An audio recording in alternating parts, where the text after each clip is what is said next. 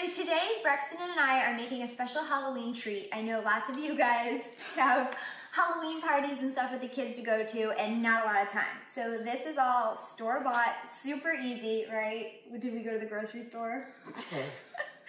and it's fast, but it looks really impressive, and the kids get to help. So, trifles are super pretty. So get a trifle bowl, Home Goods, great place. And then I literally bought chocolate cake from the grocery store, and we're gonna make a whole layer of that. Can you help mommy put this all on the bottom? Here, good job. Throw more in, we gotta cover up the whole bottom. Let's see who can go faster. On your mark, get set, go. Um, Mom, my hands are dirty. That's fine, they can stay dirty. No, they can't. Do you wanna start with the Oreos? Yeah. Okay, so as I put the chocolate cake as the first layer, the next layer is gonna be a mixture of Cool Whip with Oreos whipped into Where's, it. where's cool? Uh, uh, it's right there, but you need to help me with the Oreos. So as I place this in here, Brexton is gonna help be my Oreo masher. You my helper? Okay. So, Bad boo boo boo yeah, sit down on your booty because I don't want you to get hurt. Now, put them down, flat, and go boom, boom, boom, boom, boom, boom, boom, boom. Um, they too. Great job. Okay, so he does that, I have some already chopped up. So just take a whole bunch of Cool Whip. Just take your Cool Whip softened, add mashed Oreos. How's your mashing going? Good. Good. Can you mash Look some it. more? Together. Do you want to help mix? No. No. Can you finish mashing those big pieces? So, Good. oh, you're already done. They look pretty good. Okay, so once that's all in there, and you can chop them up so you have bigger Oreo pieces, or you can grind them up and make it really fine. It's kind of whatever your preference is. Okay, so then you're going to put a big layer of that. I'm gonna need your spoon. I keep driving. Why do I keep driving? I have no idea. I need your help with the M&M part. So, how we came up with this recipe is M&M's came out with for Halloween only at Target um, cookies and Scream M&M's, and they're very, very, very good. They're obviously cookies and cream flavored, and so that was kind of the inspiration behind this. Really as pretty as you want on the sides. And then we're gonna do a layer of the cookies and Scream M&M's. You could use your hands, baby. And just sprinkle those as your next layer. I like to make sure that, hang on one sec, baby. They get along the outside so you can see them.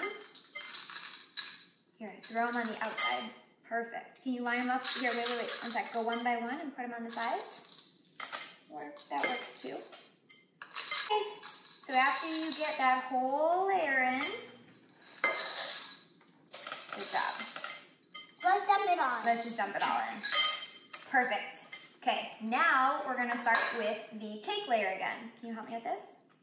I'm good. Okay. We do another layer of the Cool Whip with the Oreos in it. And this layer, try to make pretty because it's going to Um, my be the top. My TV is broken. Okay, so then after you mashed more Oreos real fine, this is kind of the dirt, and then we're gonna build a graveyard scene. So I like to do, cover all that. I like a little bit of the whipped cream to show through. All right, so once we have the Oreos on top as dirt, I found these dessert little things, and I was gonna use these as coffins. So, just gonna lay a few of those. Kind of big, you could also break them up, but we're gonna do three coffins and tombstones. Oops, I don't like that one. Brexton took a bite out of most of these. So we'll layer those there. Okay, so then for the top, I got some edible pen and I just wrote RIP. You could do anything funny in there on these little cookies and you just put them down for the tombstones.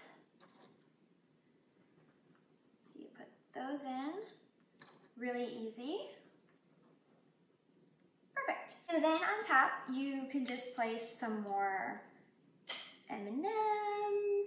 I have these little skeleton candies. You can kind of lay them on the coffins just to be fun, something different.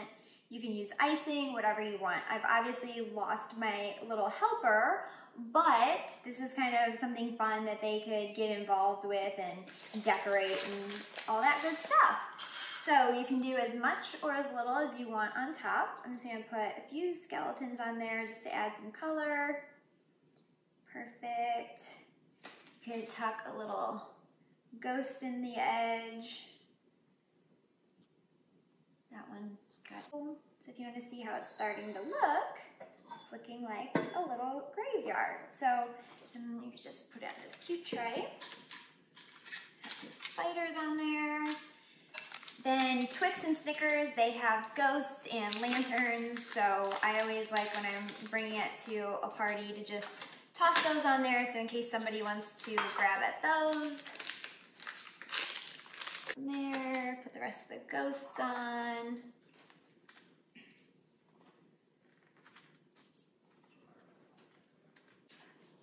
So there you have it. It's super easy, really fun. I mean, honestly, you can go as big or as simple as you want. I think it's a really fun project for kids, even though mine clearly lost interest already.